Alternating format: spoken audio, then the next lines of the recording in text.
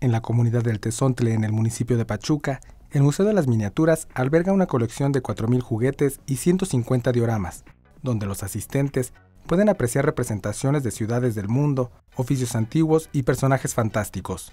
Las escenas, personajes y paisajes en miniatura se encuentran custodiadas por el gigantesco dragón rojo que de vez en cuando lanza fuego desde una de las torres del castillo medieval donde se sitúa la colección.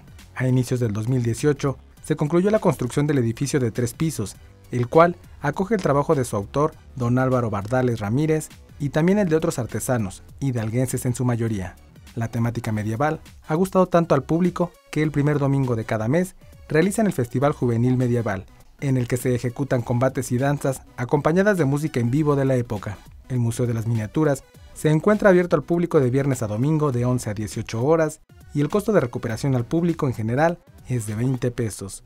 Con información de Ashley Espinosa, Notimex.